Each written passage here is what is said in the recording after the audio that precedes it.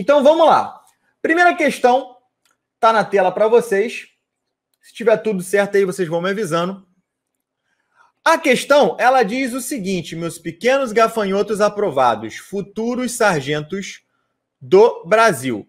Olha só, ela diz assim: sabe-se que seno de x é igual a menos 3 quinto, é um arco do quarto quadrante. Então, é verdade que, observa que aqui todas as alternativas estão falando para você de quê? De tangente. Aí você vai falar, tá, Michael, mas eu não lembro o que é tangente. Então vamos lá. A tangente de um ângulo, como ele está usando x aqui, ela é seno de x dividido por cosseno de x. Tá legal? Isso é a tangente.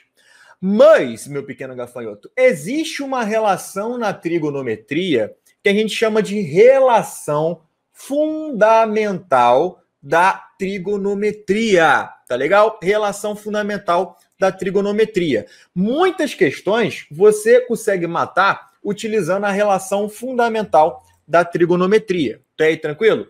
A questão da ESA, caiu uma questão muito clássica na ESA. Trigonometria não é um dos assuntos oh, mais cobrados, mas aparece aqui, aparece ali. Faz um tempo que não cai uma questão de manipulação ali das relações.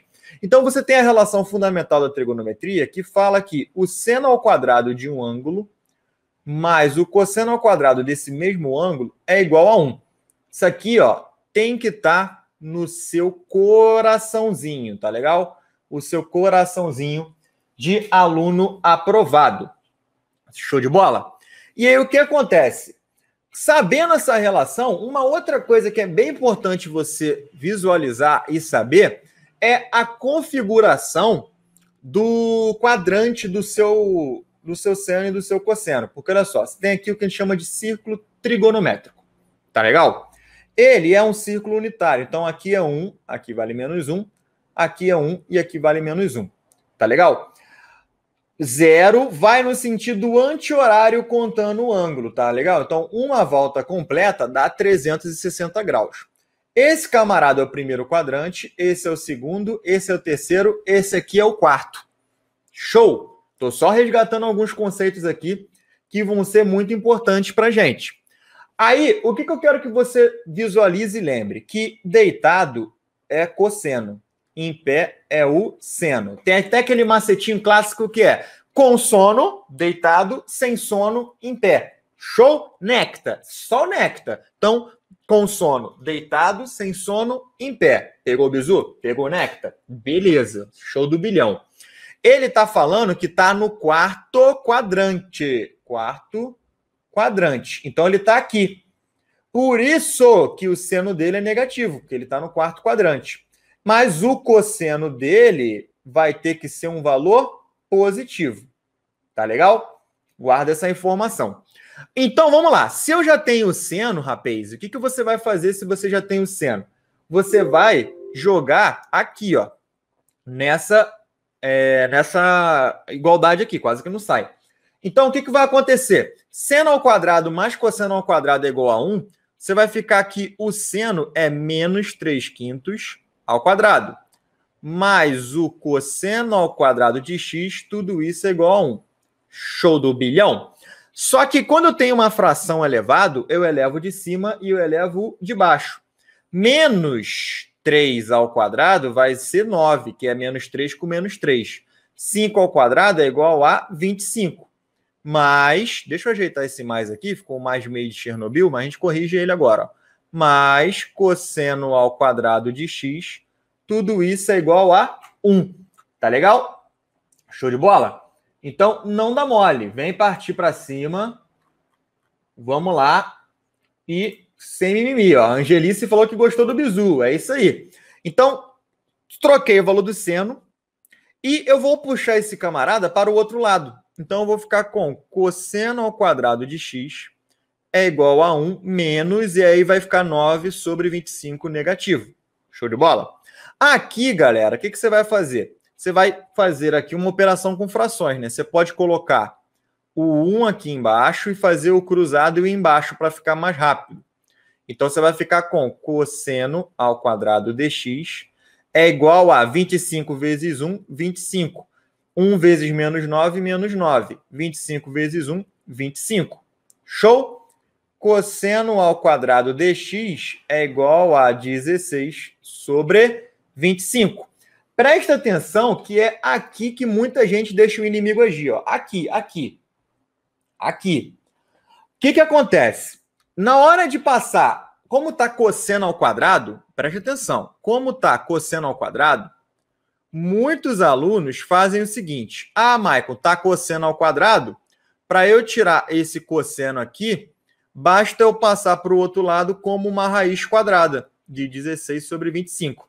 Nessa questão, você ia acertar na cagada, porque o cosseno ele tem que ser positivo.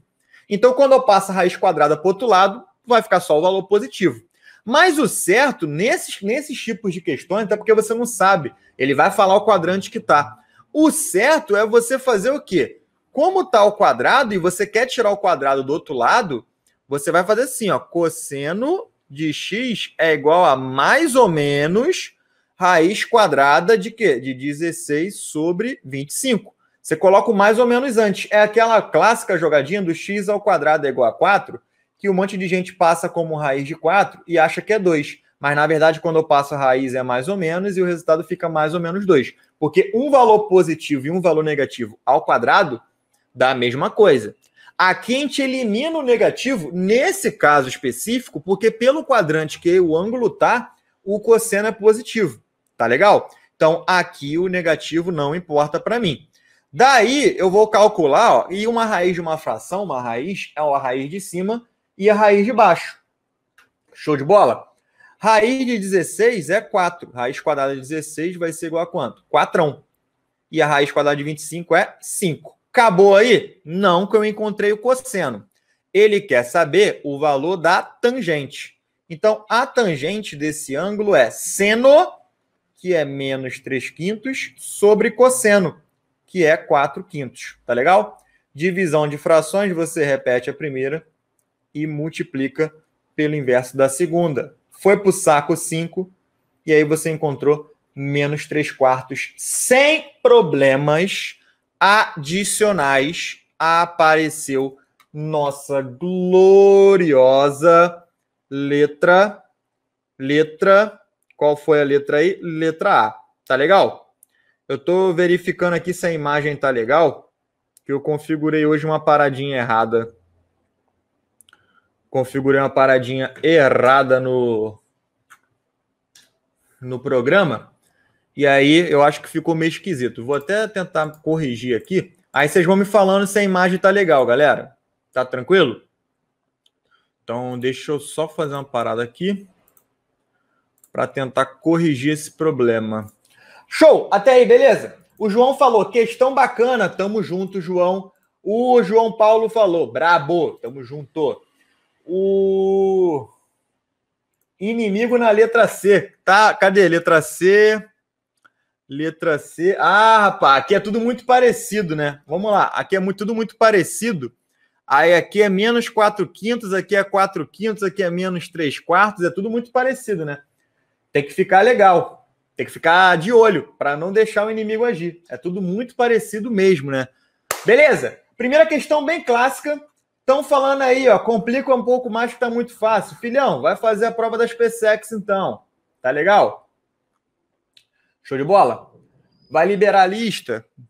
Não sei, se a gente bater uma meta de likes aí, o YouTube tá bugado? Tá falando. Cara, o YouTube tá bugadaço, mano. Tá mostrando para vocês que tem quantas pessoas assistindo? Rapaz, eu esqueci a vinheta da aprovação. Ô louco, bicho, esqueci a vinheta da aprovação. Ó, uma coisa aqui que é importante você visualizar, galera. Olha só, a gente conseguia eliminar algumas alternativas aqui bizarras, ó. Como assim, Maico? Se aqui o ângulo tá nessa nesse quadrante, então o cosseno é mais e o seno é menos, tá legal? E o seno é menos. Como a tangente é seno sobre cosseno, é divisão de menos com mais. Então o resultado tinha que dar menos. Eu posso tirar essa, eu posso tirar essa e eu posso tirar essa, tá legal? Você só tinha a A ou a C para marcar, só pelo sinal. Então você poderia nem saber fazer a questão, mas o mínimo de noção e bom senso você eliminaria muitas coisas. Tá legal?